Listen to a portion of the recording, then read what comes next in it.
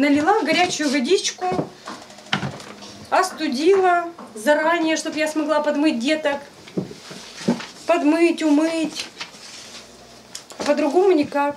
Домам 27 и 29 по Краснополянской более 50 лет. Здание в реестре ветхого и аварийного жилья. Хотя особых проблем с подачей воды здесь до нынешней весны не было. Но в конце мая из обоих кранов пошел кипяток.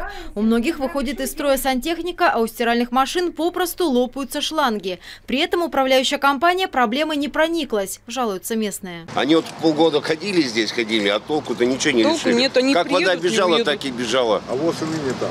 Да. А то, что смесители все летят, так извините, под таким давлением, которое горячей воды у нас ни одна аппаратура не может выдержать. А спустя какое-то время в подъездах появилось объявление следующего содержания. Причина кипятка в обеих трубах обоих домов – старый смеситель в одной из квартир. То, что именно 12-я квартира виновата, то, что нужно поменять смесители. Хорошо, я поменяла. Мне мастер сказал, что завтра у вас побежит все. Все хорошо. И горячее нормально побежит, и холодное побежит. На следующий день наступает, бежит один кипяток. Значит, не в моей проблеме. А вот зачем вот такое вот объявление написали, еще опозорили мою квартиру, то, что мы виноваты. Потом со стороны управляющей организации было еще несколько недель затишья, а накануне нашего приезда воду отключили вовсе. Воды нету.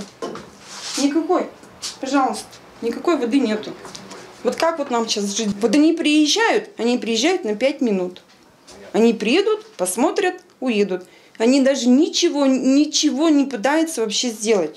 Вообще ничего. Сначала мы не могли поменять этот смеситель. Потом мы, значит, думали, что все-таки там где-то есть какие-то водонагреватели, где бывает смешение.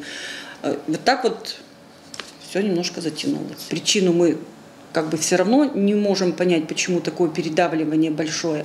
Сегодня вот собирается там, вызвали мы э, Новогор, вызвали Пермскую сетевую компанию. Будем выяснять причину.